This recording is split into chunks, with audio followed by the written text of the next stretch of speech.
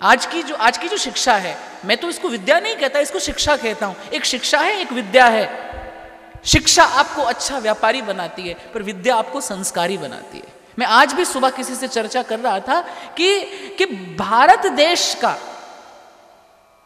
इस इस देश में ऐसी स्थितियाँ उत्पन्न हुई हैं, उसका एक ही कारण है कि पहले पहले विद्यालय में विद्या दी जाती थी, आज शिक्षा दी जाती है। पहले बालक को संस्कारी बनाया जाता था, आज बालक को व्यापारी बनाया जाता है।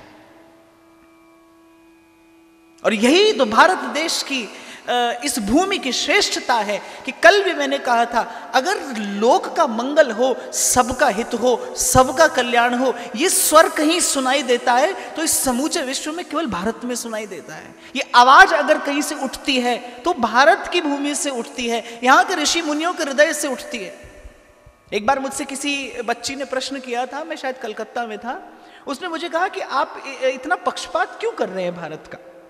Why you are so biased for India आप इतना पक्षपात क्यों कर रहे हैं भारत का?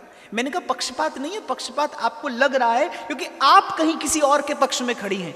इसलिए आपको मेरी बात पक्षपात मालूम पड़ रही है, पर थोड़ा निकट जाकर देखेंगी तो एक भेद आपको दिखाई पड़ेगा। पूरी सृष्टि भारत को छोड़कर इस सारे संसार में संसार को देखने की एक दृष्टि है और वो दृष्टि है व्यापार की दृष्टि।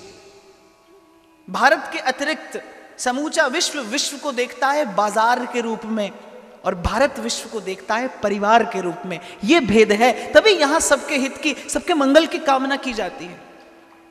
ऐसी पवित्र भूमि गंगा यमुना जिस जिसे, जिसका सिंचन करती हूँ, जिसके कण कण में संस्कार हो, जहाँ बहती हवा के साथ आपको कथा कीर्तन का स्वर कान में पड़ जाता हो, वो वो पवित्रता।